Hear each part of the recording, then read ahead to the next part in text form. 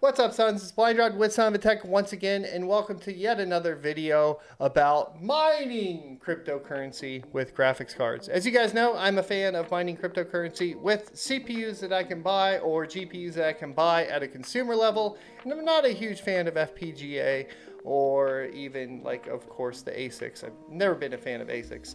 That being said, today we're taking a look at the Radeon RX 5500 XT Mech from none other than MSI.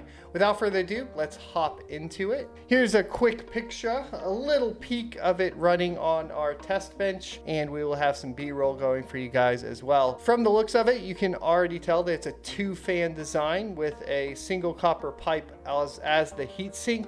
And if you take a peek even closer, you'll notice that the memory modules are not actively cooled. They're passively cooled with that front fan blowing over them or blowing some air over them. Now, when we're talking about mining, it may be worth it to go ahead and lean towards something that has active cooling on the memory modules. We will go ahead and leave an Amazon link down in the description below for you to go purchase this card. But while you're there, go ahead and maybe grab a couple more options. If you do see one with active cooling on the memory modules, I would recommend picking that up if they're within the same ballpark in price. Now, when we're talking about price, right now, retail, we're looking at anywhere from 180 US dollars to about 230 US dollars. So keep that in mind when you're calculating your ROI and so on and so forth. So getting into the dirty, dirty specs here, we have the interface type of PCIe Express 4.0, which is going to be the latest and also probably not that big of a deal for miners. We're not really that interested in PCI Express 4.0. But if you're going to be gaming on the card as well, knowing that it supports the latest options there and the latest and greatest and most bandwidth over that interface, you're going to be good to go. It has 1408, yeah, 1408 for some reason I thought 1000, but 1408 compute units and the core clocks boost up to 1845 megahertz and game up to 1733 megahertz. Now, that's going to be very dependent on if you need to overclock for specific coins and algorithms. Most of the time, you're not going to be messing around with core clocks.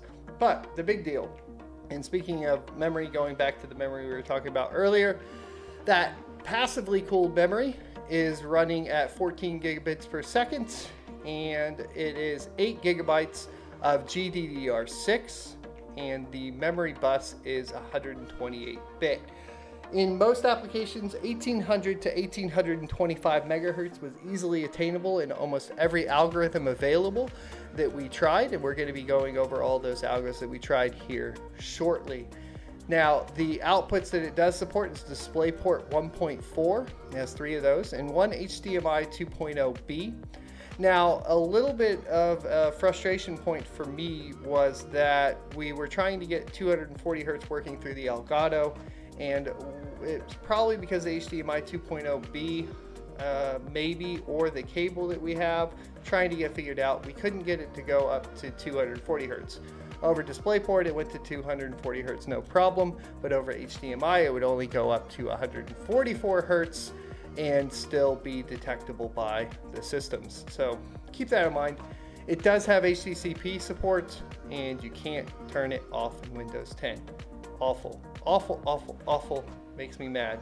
They used to have an option that you could turn it off with, now they don't.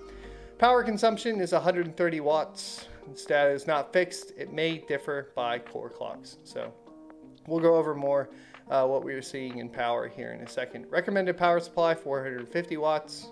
Don't have to worry about that for mining as well. Power connector is a one or a single uh, 8 pin power connector, PCIe power connector, and that should be pretty pretty handy when you're talking about building a mining rig. Anything that takes more than one, you know, if you have one 8 pin, one 6 pin, or two 8 pins.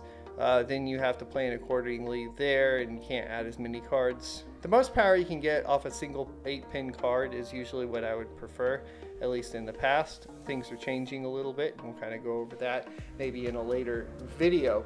So those are all the specs.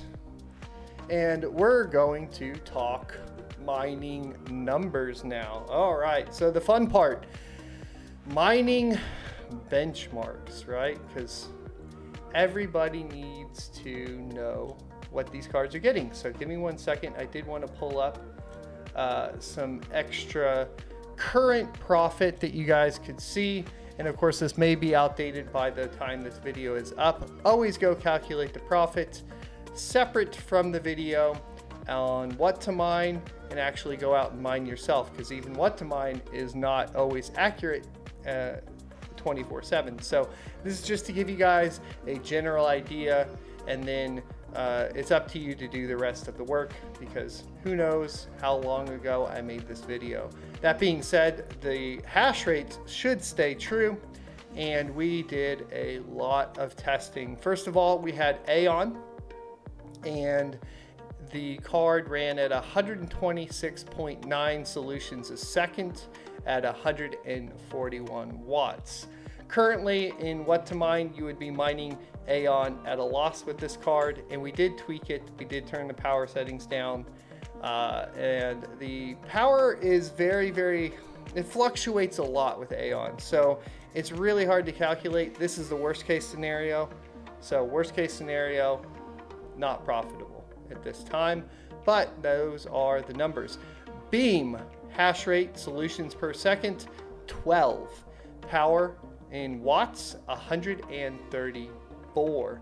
Now, if you take a look at this, you are going to see that you are profitable at about 18 cents per day, calculating co uh, cost of power at 0.1 cent in USD.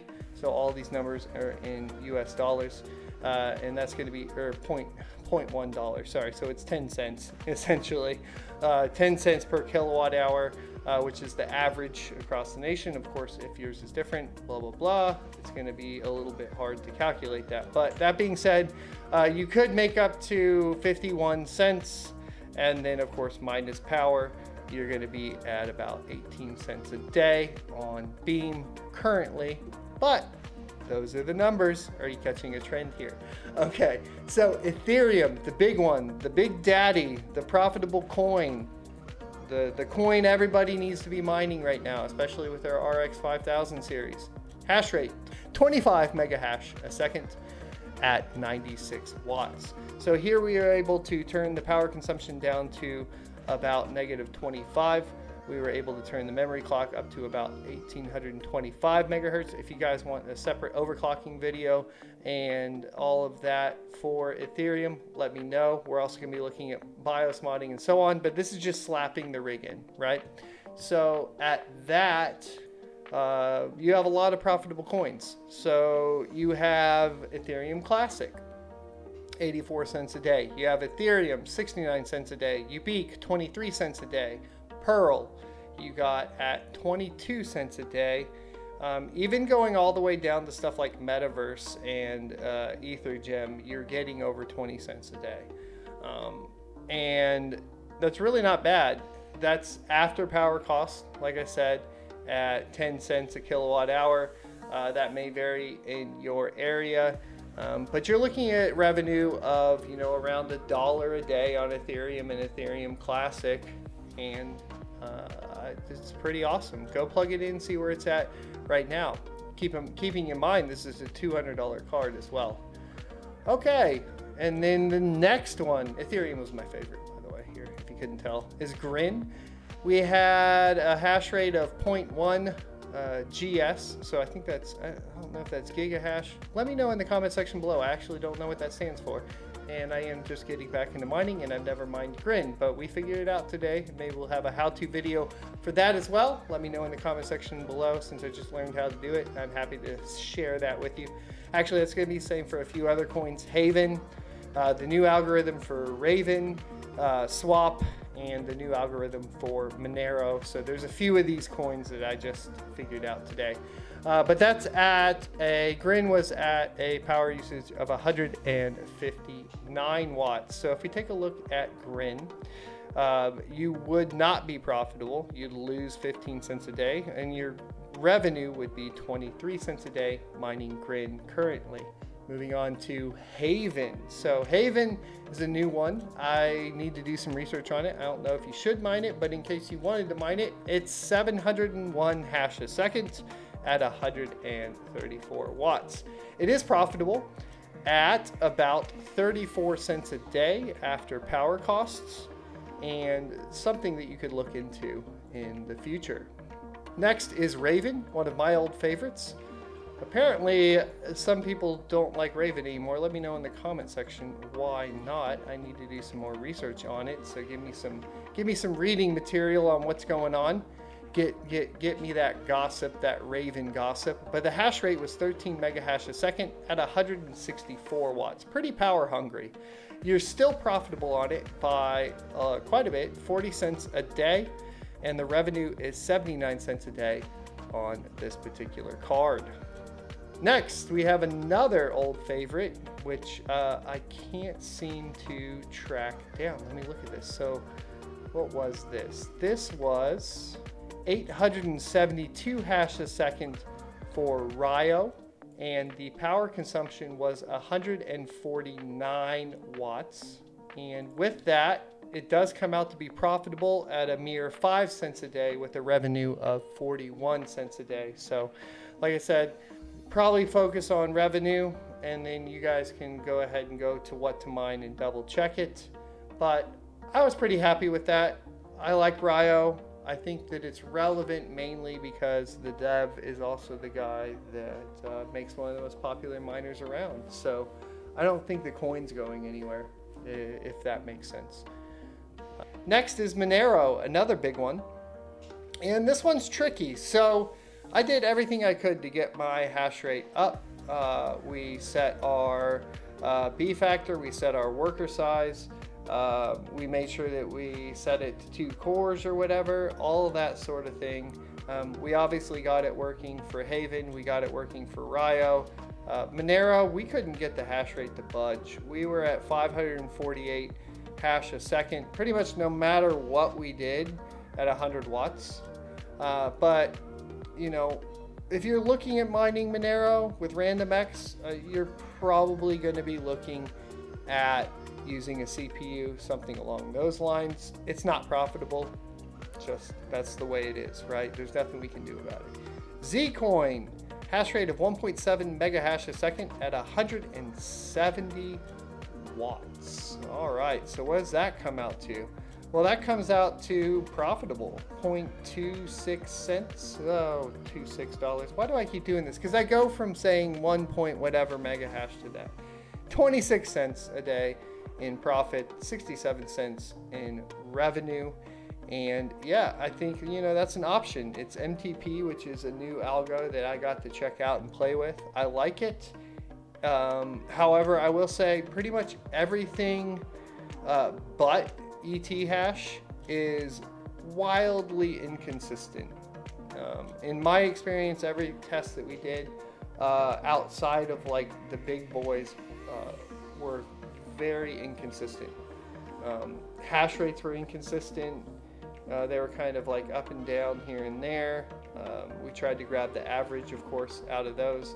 And then the power consumption was the crazy inconsistency. And Zcoin was one where it was just poof all over the place. So we picked up the worst case technology or technology the worst case technology is um, no we picked up the worst case uh, scenario there and we rolled with it you know that's what we did on all of these if we're having inconsistent power consumption readings we are going to get you the worst case. And that way, hopefully, we can guide you into a better purchasing decision. Last, we have Zelcash with a hash rate of 17.7 solutions a second at 176 watts. This comes out to not profitable with a revenue of 38 cents per day and losing uh, 5 cents a day. So there you go. I appreciate your time. I appreciate you guys stopping by. And don't forget to come check me out on twitch.tv slash blindrun. Don't forget to hit the subscribe, the like, and the notification bell down below if you want more cryptocurrency content and some more gaming content coming as well. I'll end it with a light party, I think. I got it. Bam! Light party. It didn't work out very well. All right, I'll see you next Tuesday.